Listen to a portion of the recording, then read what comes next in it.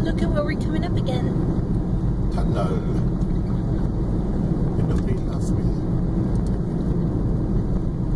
Hold your breath.